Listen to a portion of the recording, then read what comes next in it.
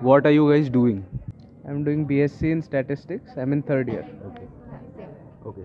So if a person does BSc in statistics, what is the average salary that he earns? Like if he is a graduate right now, so what would be the salary that he would earn?